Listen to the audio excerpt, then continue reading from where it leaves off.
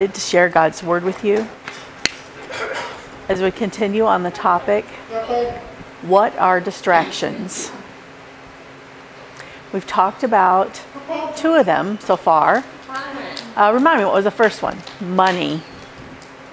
Last week, our second topic was media TV, internet, also social media today there's a plethora of apps to choose from, and those distractions can consume all of your time. what are the distractions from? From what God has for us. Did you memorize the verse I asked you to? Anyone? Oh.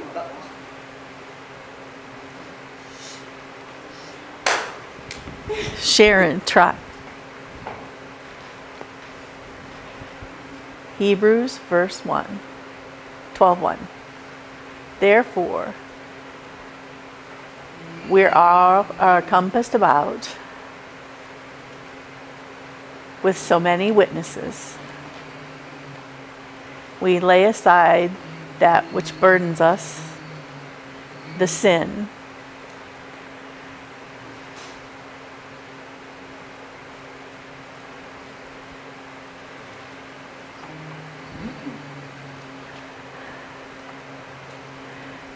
the sin which so easily befalls us, so that we run with, mm, what's the last little bit? That's good. Good Good try. try, Sharon. I'll give you a B minus or a C plus. Anyone else want to try? I saw Christina considering it. Bill, they're looking at each other. Come on, try it. Come on, Bill, be a leader.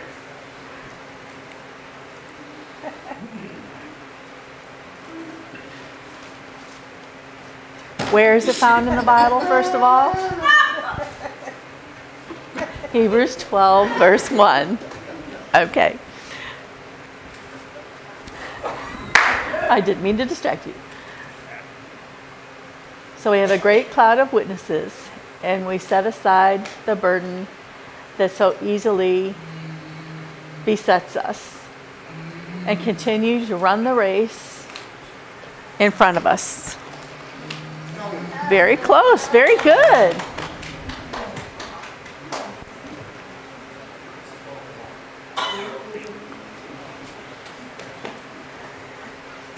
Okay, let's I'm going to sign it again. Hebrews 12:1 Wherefore seeing we are compassed about by so great a cloud of witnesses let us lay aside every weight and the sin which so easily besets or distracts us and let us run with patience the race that is set before us. I encourage you all this week to review the verse again and again, a little bit by little bit, add to it and memorize it. You want to know the secret? The best way to memorize? Writing it down. Write it out five times every day. Write it out, the, church, the book where it's found, then the verse. Write it again, again, and again. The next day, write it again five times. It will be very easy to stay in your mind after that. If you want to sign it, yes, you can look, but you have to practice. Why is it important to memorize the Word of God? If you meet a person, you can share with them. Yes, that's a good one. Another person might need encouragement and you have a verse handy to share. It's a defense against temptation as well. To guard yourself from temptation by memorizing scripture. Also, if you feel like you're distracted, use this verse like an armor or ammo. Ready for your fight against spiritual principalities. It will keep your focus on Jesus Christ. Again, we've talked about this distraction of money and media. You're never going to guess what point three. It's got to be another M.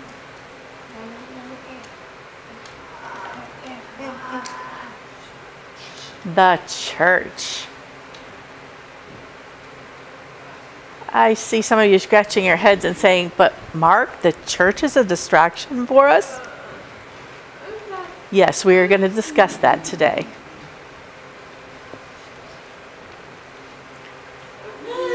What do I do at church?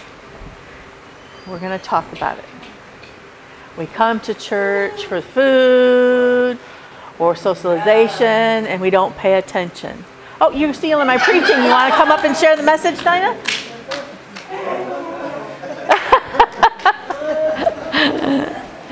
Okay, all kidding aside.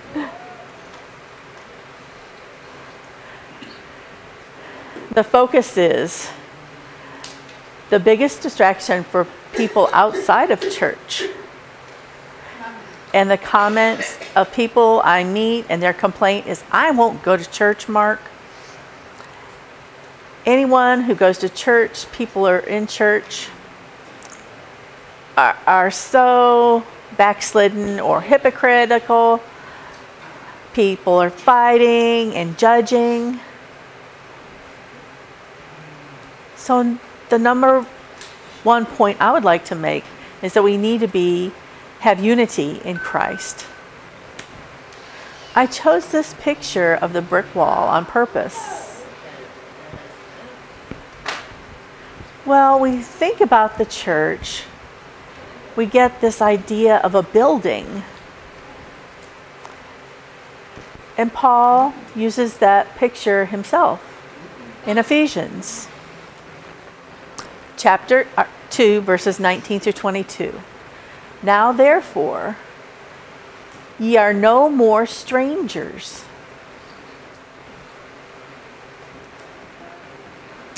What does that mean? Visitors. That's a good word to substitute. The really the word means foreigners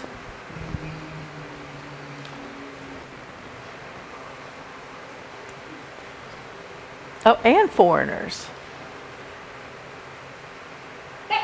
A person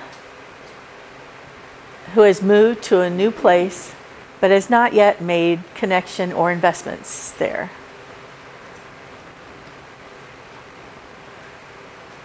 People that come in and out of our country and they're not supposed to be there. They're not citizens.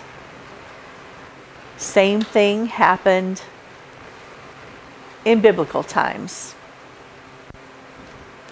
People would come and go, but they were not invested in the city. But fellow citizens with the saints.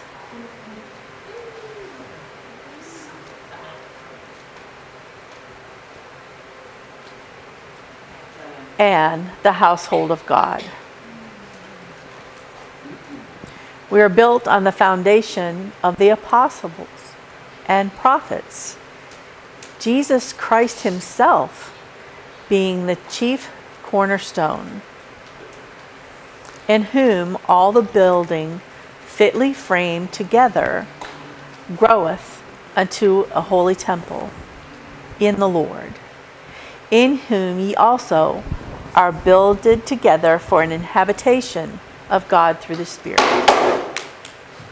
This is very important.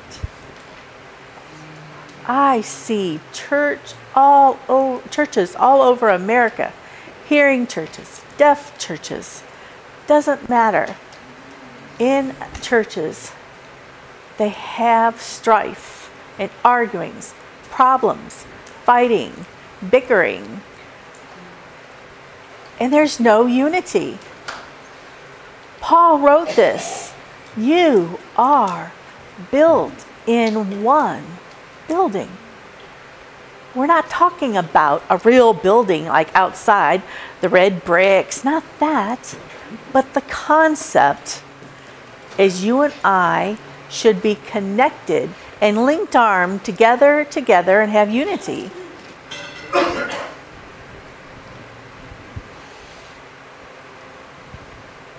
And you might say, I have unity with most, but this person, no way. I can't have unity with that person. That person is a sinner. Uh, wait a minute. Are they saved? Are they already saved? This fellow citizens means already rooted in Christ. It doesn't matter the history, your background. It doesn't matter what happened to you back there. If you've accepted Christ and are now saved, the power of Christ is in you. You've accepted into his family and you belong to the beautiful building of the beautiful, holy temple of the Lord. Amen. Amen. I'm happy for that. I have the opportunity to belong and be part of the holy temple of the Lord. Why? Because I brought my own holiness? Absolutely not. There's nothing holy about me. In myself, there is nothing. I am a filthy, dirty, awful, separated person from God. But through the power of Jesus Christ, the Holy Spirit washed me, took away my sins, and put me in the family of God. Now I'm holy. Amen. That's right.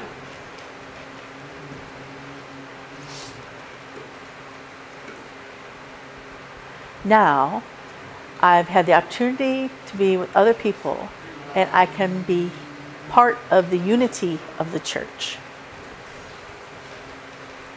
Ecclesiastes 4, chapter 4, it's not talking about the church. This is in the Old Testament by Solomon. The concept is not specifically about the church, but we can apply it there.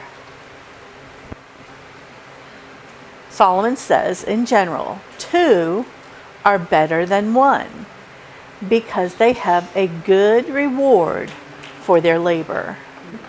For if they fall, the one will lift up his fellow. But woe, warning unto him that is alone and falls, for he doesn't have another to help him up. Again, if two lie together, then they have heat. But how can one person be alone? There's no warmth. And if one prevail against him, two shall withstand him. And a threefold cord is not quickly broken. Many times they use this in marriage ceremonies, at weddings. The pastors use that to explain to becoming one, being strong, and two plus one more, that third person is the Lord. And that's very true, the application. But it also applies to the church. We are stronger together. We are strong together. When we have failures and fall into sin and I'm all alone, there's no one other to help me. I'm in trouble.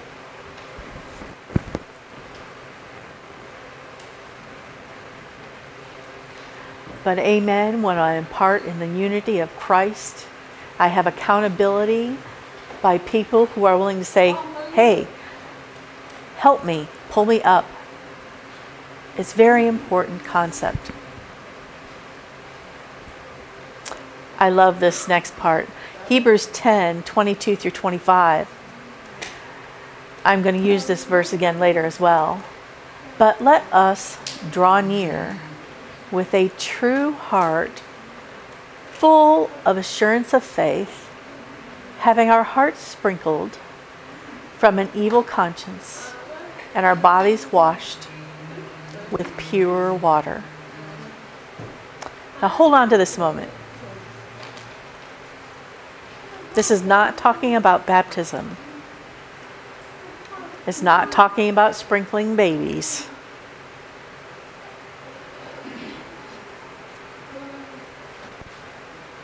It's talking about our hearts sprinkled.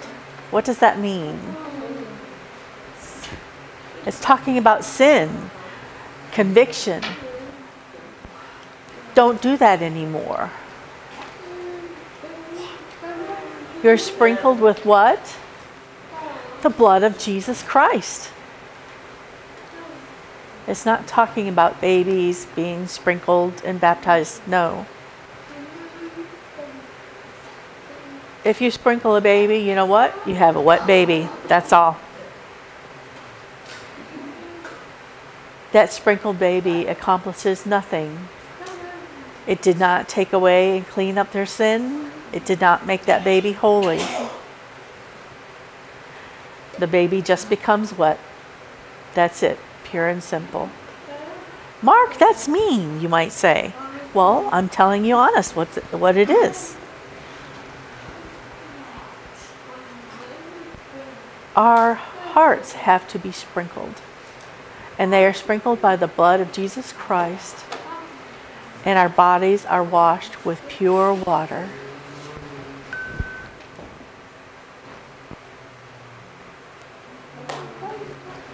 What is that talking about?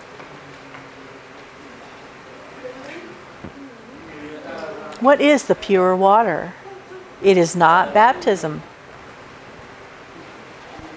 The Holy Spirit, that's right. Through the Word of God.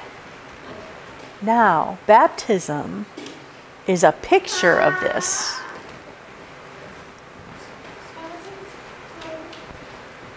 But baptism in itself does not cleanse you. When I baptize a per- person, you know, we have the big oval or black tub. Maybe you've seen it before. I baptize the person in the water. That water is not pure. It's Johnson County water. Thank you very much. That's all. It is not holy water. It is not Mark doing a magic act and poof, it's clean. No, it's Johnson County water from the tap. Same as in your homes.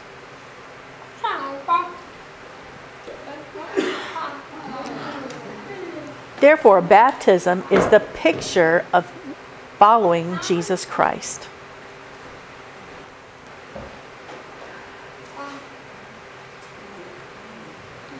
The body becomes holy through the Holy Spirit, and He changes your life. Verse 23. And let us hold fast. Oh, excuse me, and verse 24. And let us consider one another to provoke unto love and to good works. It means that I should be encouraging you to love each other and to do good works. And verse 25 not forsaking the assembling of ourselves together as the manner of some, but exhorting one another, and so much more as ye see the day approaching. It's very important that we put emphasis some people say, come to me and say, Well, Mark, you know, I go to church. What's the name of your church? I'll ask them. No, no, no. I go to church at home. What do you mean, church at your home? Oh, no, I stay at home and I pray and I read the Bible, and that's church. God and I communicate, and that's church. Have you seen people say that before? Is that true? How do you know?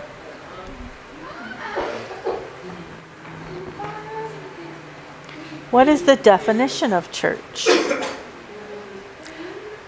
Assembly, assembling, coming together. And other people will say, Mark, I go to church. And I'll say, Oh, what's the name of your church? Oh, I watch it online. I watch your preaching online. It's, it's too far for me to drive. It's, you know, it's hard. It's best if I stay home and just watch your preaching online. Is that good? I have no problem with watching my preaching online. However, I encourage you to watch it online. Maybe you missed something, or maybe you're out of town and can't be here that Sunday. I encourage you to watch it and catch up. But using that to replace the assembling in church and staying home, that is not church.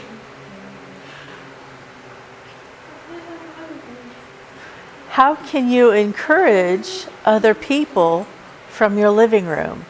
Just sitting there in your PJs with your cup of coffee, watching. No, I encourage you to be there.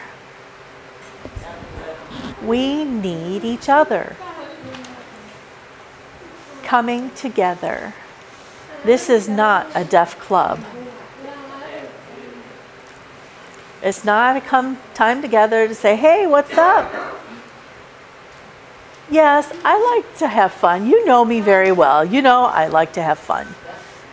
However, at the same time, when we come together on a Sunday morning, we are here to worship God, the holy truth, and to serve and fellowship with each other.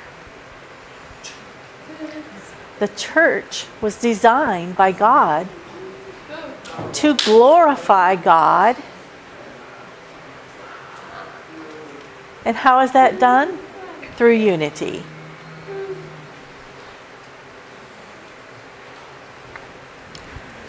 So, if a person from outside the church would observe Deaf Liberty Baptist Church, and the, they people see people inside Deaf Liberty Baptist Church having contentions and arguments,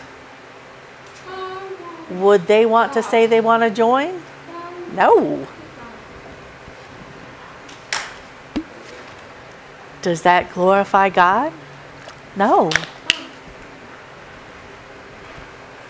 I encourage you and I to be unified. And I thank the Lord, I praise the Lord. Just recently, the other day, I prayed to the Lord and I was talking with Him, and I said, Lord, you know, I'm so thankful for the people of Deaf Liberty Baptist Church. In all honesty, we have a good unity here. Amen. When I first moved here, it was not. And we thank the Lord for the healing through Him and the building of unity that resulted. When we do not have unity, we are and have become a distraction to the world and to our own selves.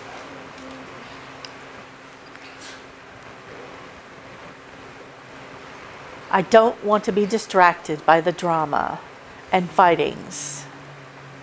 I don't want to be distracted by problems. As our church continues to grow, we will have more and more people here. More and more people here can have the opportunity for problems to arise. However, if we work together in unity, we can have more and more unity. and this will be a greater impact for God's kingdom. Again, point one unity in Christ. Number two, in churches, there's distraction of doctrines.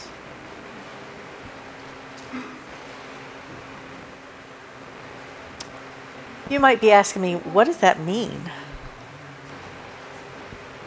People come into Deaf Liberty Baptist Church and they look at the doctrine and say, oh, that distracts me. That, that causes me to be bothered. Oh, it's very important.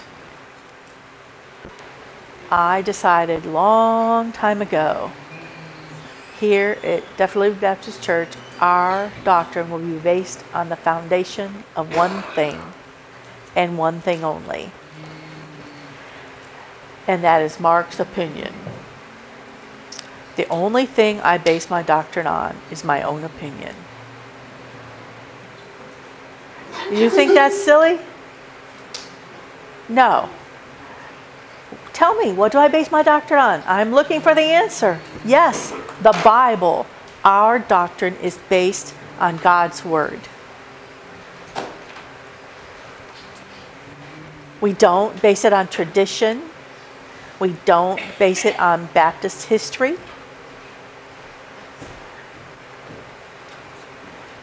We don't base it on the doctrine of old time pastors.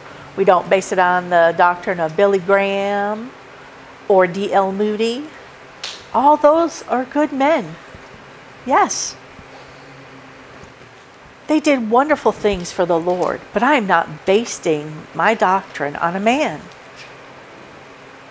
on John Calvin, not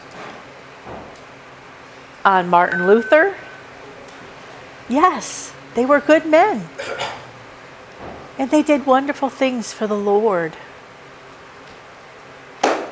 I believe, base my belief on one thing and one thing only. Ephesians 4, verse 14. You are no more children, immature tossed to and fro, and carried about on every wind of doctrine, by the sleight of men or the cunning craftiness whereby they lay in wait to deceive. No, do not be immature. We teach you to be strong Christians. Yes, sometimes people distract us. People want, oh, hey, let me tell you about Trump. No, thank you. That's a distraction. Oh, hey, let me tell you about this guy. About, um, and all these worthless comments. No. If it's not in the scriptures, I'm not interested. 2 Timothy 4 2 through 4. Oh, I really love this passage. He's encouraging his son, eh, really his disciples in the faith, Timothy, and he's telling him, Timothy, preach the word. Be instant in season, out of season, ready at any time. Because you need to reprove, rebuke, exhort with all long suffering, which is patience, and doctrine. For the time will come when they will not endure sound doctrine, but after their own lusts. Come here, teach us. Why? Tickle our ears the things are so soft. I want things to be comfortable. And that is a distraction that will take away from the truth. Just like a fable. People will turn to fables instead of God's word.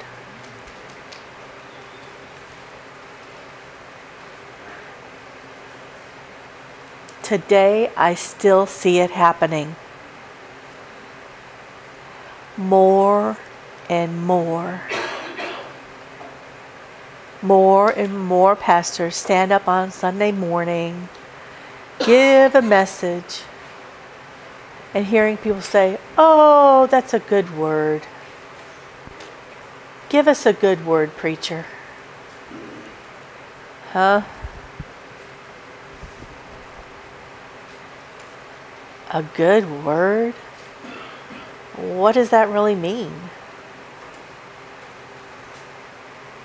You're satisfied. You've checked a box. I'm good to go.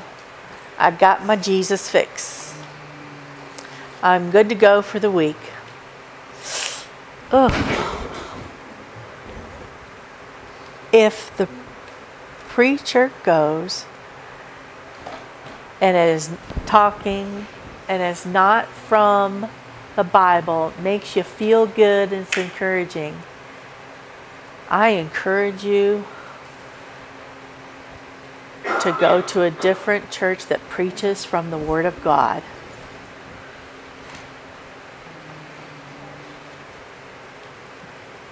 Lord, protect us, protect our church, Lord. 2 Timothy 3 16 through 17. All scripture is given by inspiration of God and is profitable for doctrine. Here it is again doctrine, for reproof, for correction, for instruction in righteousness. I need a volunteer. Who will come and help me? Casey, come on up.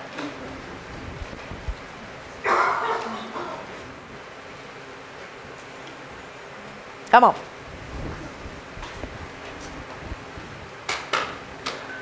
This is my friend.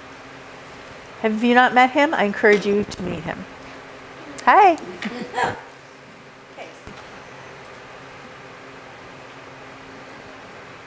Uh, this is an example. Suppose he just recently got saved. Yay, all right. Now, now what? Now he needs to be baptized. Okay, what does he need? He needs fellowship, discipleship, teaching. What do we use to disciple him? The Word of God.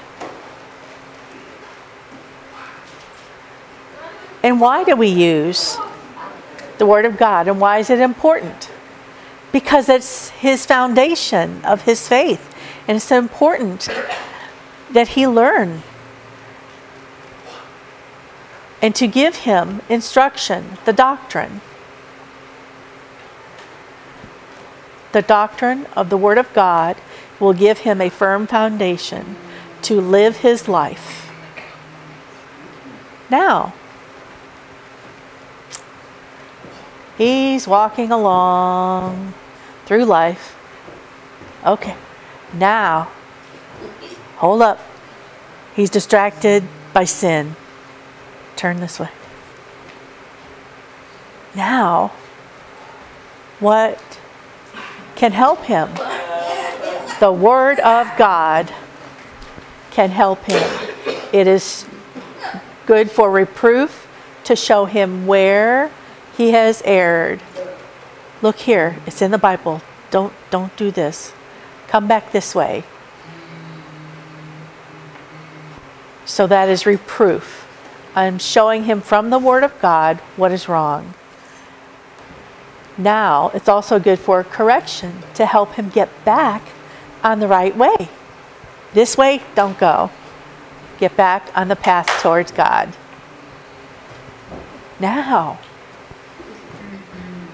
he needs one more thing.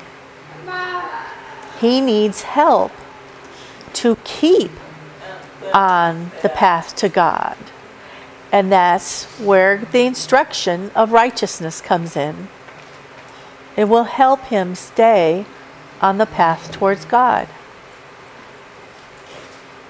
The scripture gives him everything he needs. It helps build up his faith. It helps to show him where he goes wrong. It helps him get back on the right path and stay on the right path. Thank you very much for your help, Doug.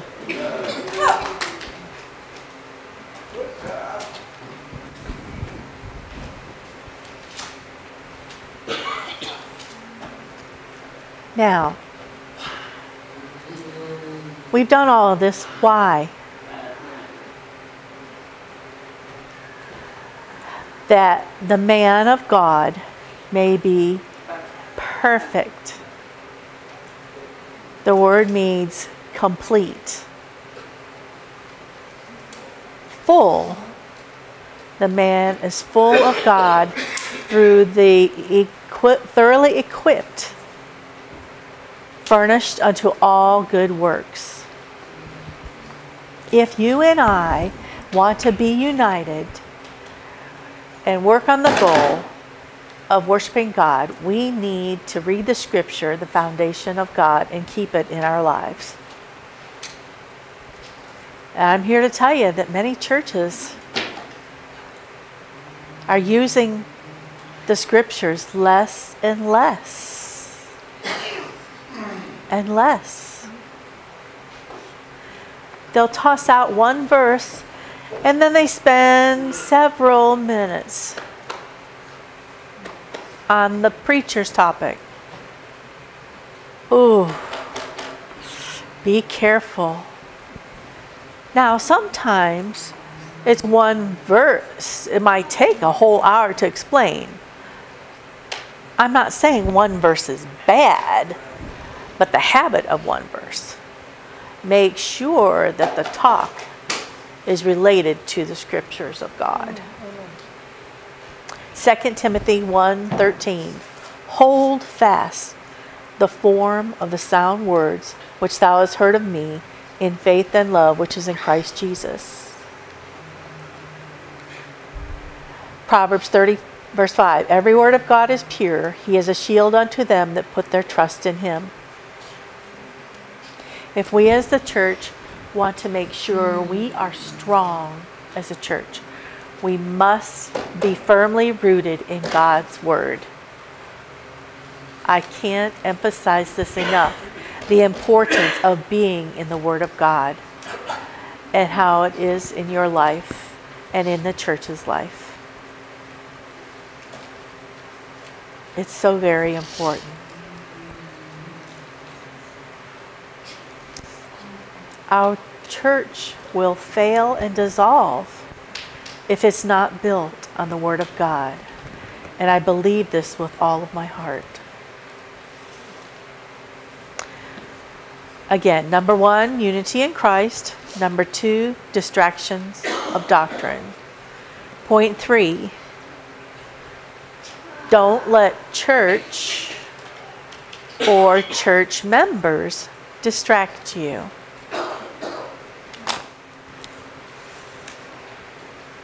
Uh, you say, Pastor Mark, you just don't know. That person, they are living in sin. I know it. I know what's going on. Maybe you don't know. And I'm going to tell you what they're doing.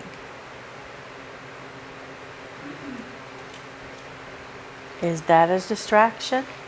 Absolutely, it can be. Most of the time, it is. I have some very important advice for you. Again, it's not Mark's advice, it's based on the Word of God. Number one, look at yourself before judging others. Look at yourself before you judge other people. You ask me, what do you mean? I have some scripture to back it up. Matthew chapter 7, verses 3 and 5. And why would thou smoke a teeny speck in your brother's eye? But not consider the beam that is in your own. eye. You are a hypocrite. First, remove, cast out the beam of thine own eye, and then thou shalt see clearly to cast out the speck of your brother's eye. Don't be pointing out other people's faults. Oh man, my kids. Kids to me, Dad, Dad, Dad, Levi kicked me. Okay. Why did Levi kick you? Because he's mad. Okay, why is he mad? Uh, because I hit him. Well, come on. Okay, why did you hit him? Because I was mad. Well, why were you mad? He took my toy. We are so easily see other people's faults. To identify other people. Oh, come on, you guys, what's wrong? Sin. Sin is what's wrong. Look deep into yourself first. Jesus Christ said many times, the smallest thing. But you've got a big old beam in yours. How can you see that little tiny speck?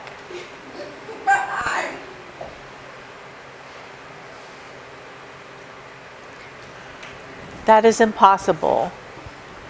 But we like to do that. Pass on the, the blame. Point two join a church and be involved. But what does it mean, church membership, Mark? What do you mean, join a church? Do they require me to vote? Does it require me to pay money? Does it require me to. What, what are the requirements? What do I have to do? People are scared to join churches. They don't want to become a member. Membership is simple. It means become a part of the family. Together, working together. Here at Deaf Liberty Baptist Church, we have a process to become a member, a church member. Everyone who comes in, I want to join your church today. Oh, no, no. One person was mad at me because I wouldn't let them join at that moment. And they left. Okay. That's all right. We have a process.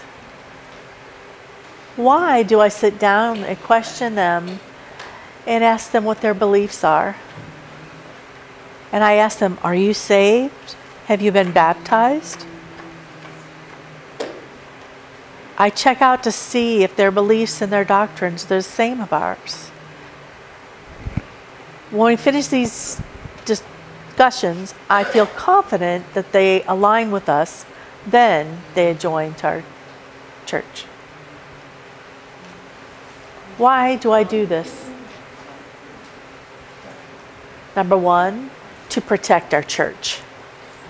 You know, from the wolves and sheep's clothing from outside. Yes, that is right. Another reason I would do that, I want to share the gospel with them and make sure that they're saved. Many people would think, oh, I've joined a church, that's it, I'm going to heaven. Check off that box. No.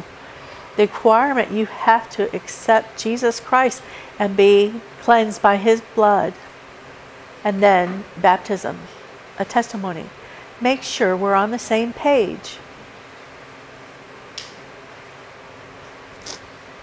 On our website, you can read our doctrine. And I encourage you sometime go home and read through it. Did, well, I read through most of it. Okay, do you agree with it? Yes. Now, in the future, a problem might come up. What do I do? I show them the doctrine. You told me you agreed with this. So, what's wrong now? You told me you agreed.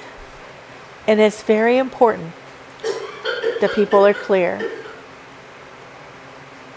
But, Mark, there's not a verse in the Bible that says you have to join a church.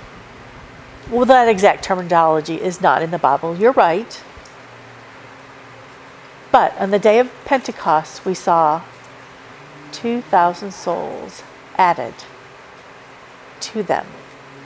What does that mean, added to them? That means they already had a church and they added to it.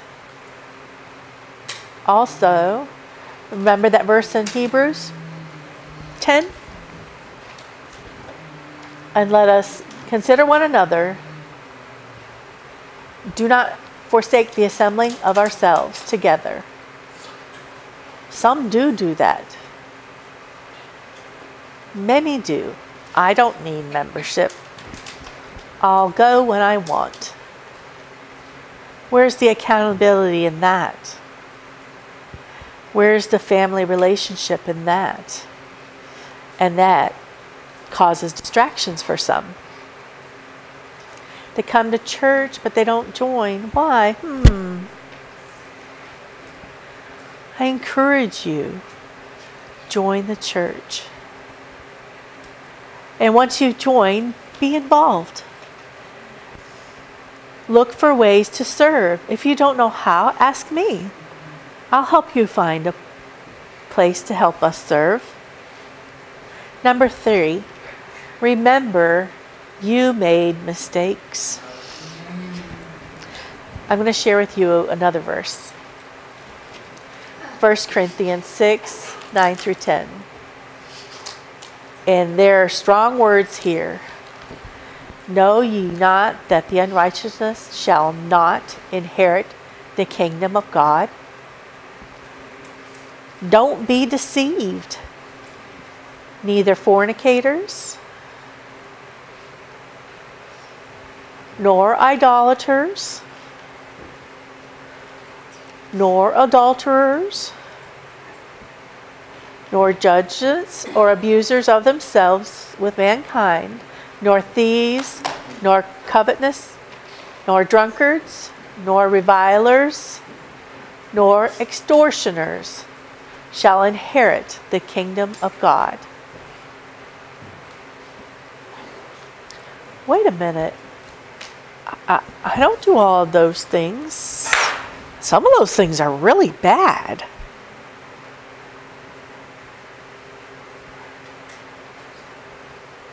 I did. I admit it. I stole something. I admit it.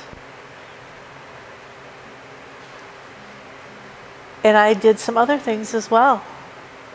I had fun. You know, it's easy to point the fingers at everybody else. Look at those sinners. Paul says.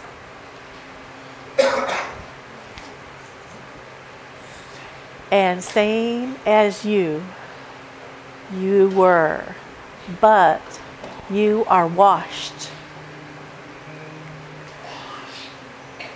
Washed and sanctified.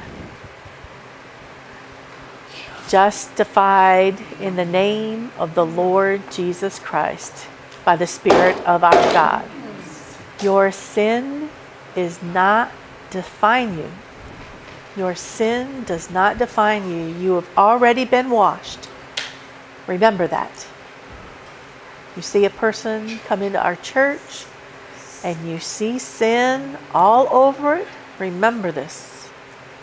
You were that way before.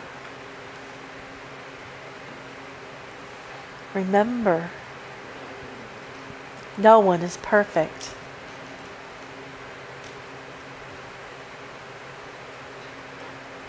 Pastor Mark's not perfect. The deacons are not perfect. Pastor Mark's wife, oh, I can say that because she's not here. She's not perfect either. No one is perfect. No one. Number four, be loving. Show love to people.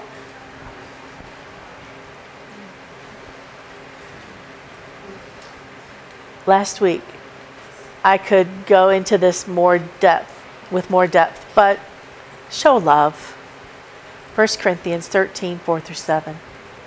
Number five, work together. Ephesians chapter 4, verse 16.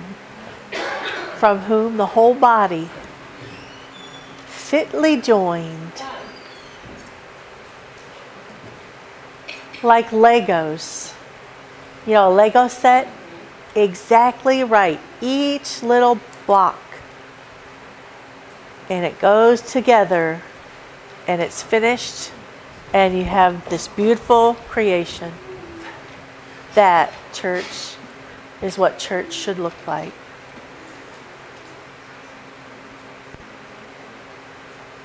We must work together.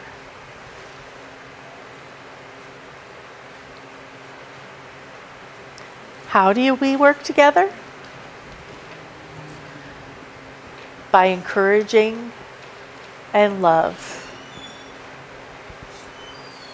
Number six, and I want to stay here for a moment and emphasize, emphasize verse point six busyness. Busyness can be a distraction in itself.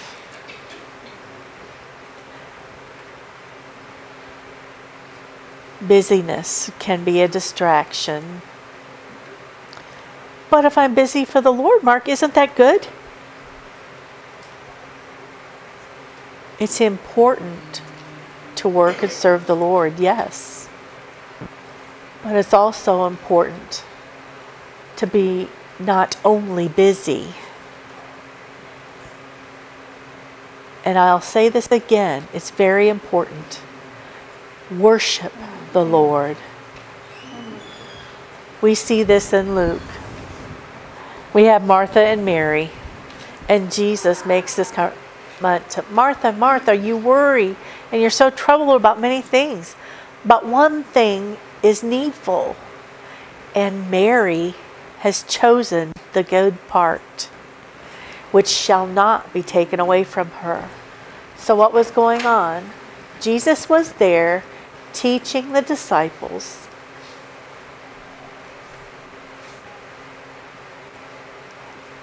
Mary is a woman. And we know women are supposed to do what? You said it, not me. Cook, clean. Oh, no, no, no. Mary, what was she doing? She was sitting and listening. So enthused and spending time with Jesus to learn from Him, communing with Him. What was Martha doing?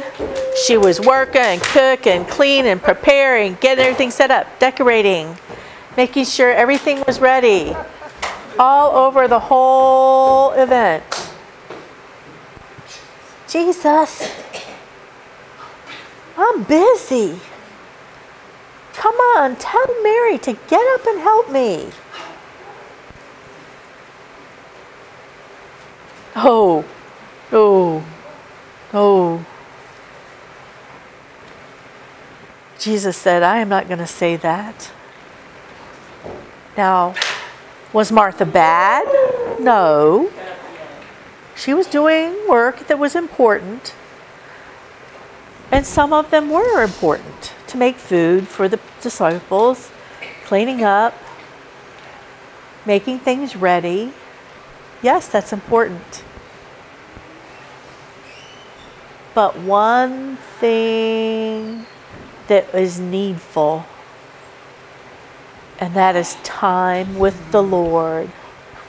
When busyness overwhelms you, that means you have no time for the Lord, and you need to change your schedule. Revelation 2, verse 2 through 4, in the church in Ephesus. I know your good works and your labor and your patience and how you cannot bear them which are evil.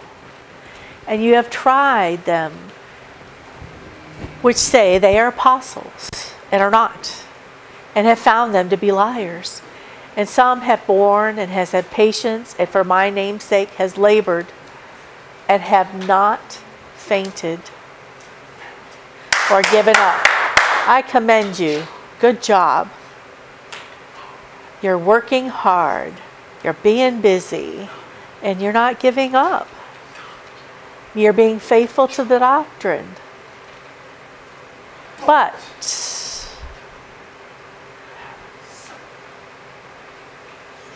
but I have something against you. You have left your first love.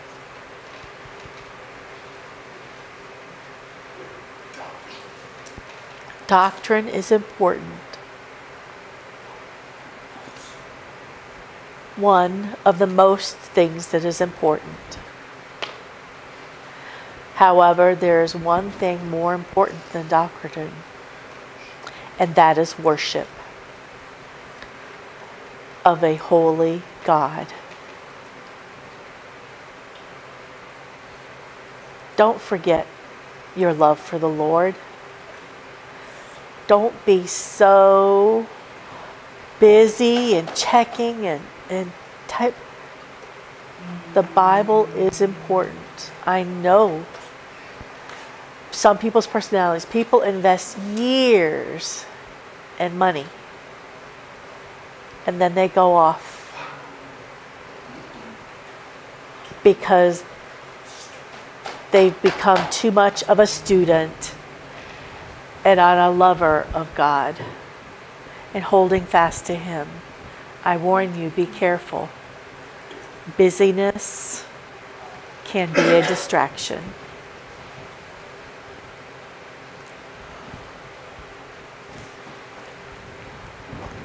I want to close with these thoughts. Are you distracted? Are you allowing church to distract you? Are you allowing church members to distract you? I encourage you strongly. Forgiveness is the key. Ephesians chapter 4 verse 32 and be ye kind one to another, tender hearted, forgiving one another. But, Pastor Mark, you don't know what he did. He hurt me. He took my self esteem away. He hurt me bad. I cannot forgive him. Be careful what you say.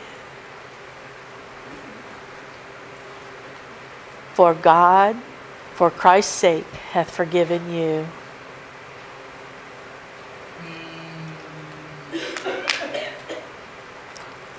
How much son, how much sin did God forgive you? All of your sin. And you can look at a person and say, I cannot forgive that person. Be very careful if you have. God has forgiven you of all your sins. But he cheated. Well, you've cheated on God as well. He lied. Haven't you lied to God? But he stole. Haven't you stolen from God? There's no sin a person cannot do that you haven't already done yourself. God said it. I've forgiven.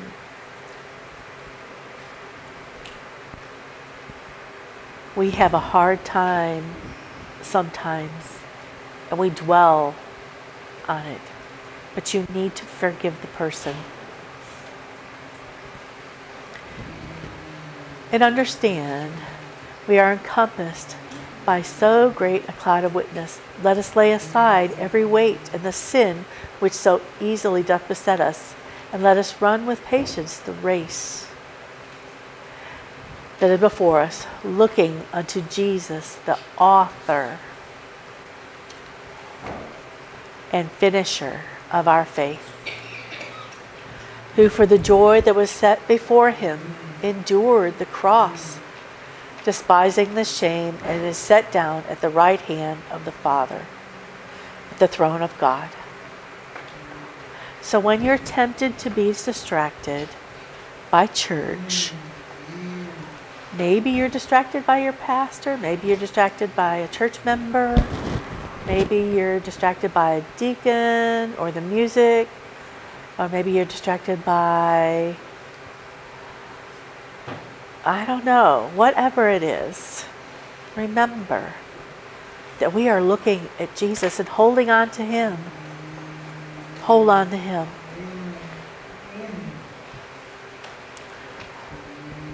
I want to close in prayer. Lord, thank you for your word. I beg you, God, help us to understand your word. Your word teaches us principles